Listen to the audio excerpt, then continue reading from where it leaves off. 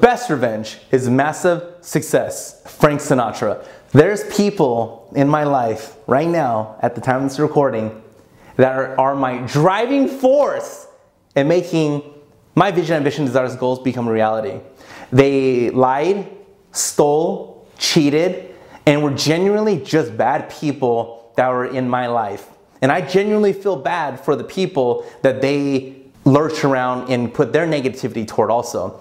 And I got fortunate because like all negative people in your life, they eventually weed themselves out. One of the massive driving forces that I have right now in my life to become successful is what Frank Sinatra says.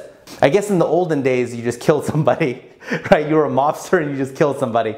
And that doesn't fly in 2017 where you just can't kill people and get away with it. But the best way is not to talk negative about people, not to talk crap about people. Don't put their name out there and don't, you don't need to hurt people is what I'm trying to say. If, the, if people are bad to you, they're bad to you. Just let that be.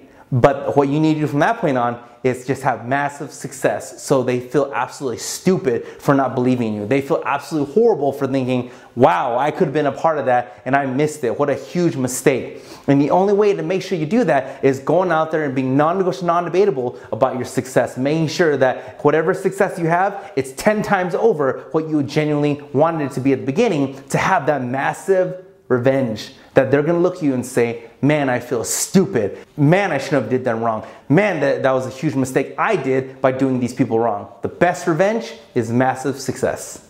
Thanks for viewing everyone. Don't forget to like and share this video. If you have any questions for me, ask me on Twitter or Instagram at HsuMJames. If you enjoyed this video, I release new videos like this every day, seven days a week, 365 days out of the year. Why? Because success doesn't sleep. And guess how often we need positive vibes in this world? Every day. Find me on Facebook at the official James Hsu and subscribe to my YouTube channel for even more content at Hsu M James. Have a better than beautiful day and I'll see everybody tomorrow.